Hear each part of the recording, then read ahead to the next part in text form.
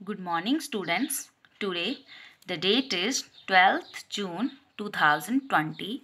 Subject Computer, Class 8th, Section B.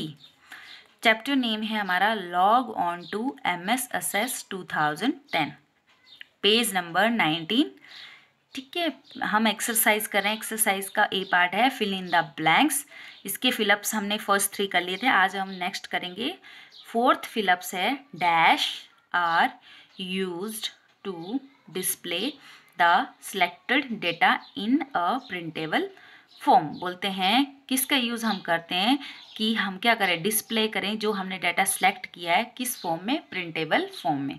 तो वो क्या होता है, reports. Reports are used to display the selected data in a printable form ठीक है? नेक्स्ट है फिफ्थ हमारा dash help you to get information on a specific topic from the information stored in the database बोलते हैं वो क्या है जो हेल्प करती है आपको कि कोई भी इन्फॉर्मेशन आप गेट करो, ले सको, किस पे? स्पेसिफिक टॉपिक ठीक है?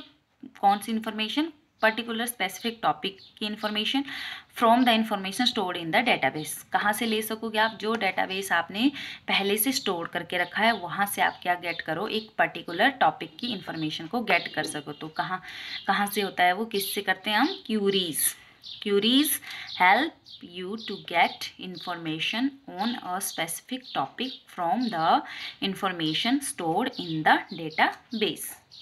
ठीक है? होमवर्क भी आपके लिए यही है। Read write revise fill ups thank you students and have a nice day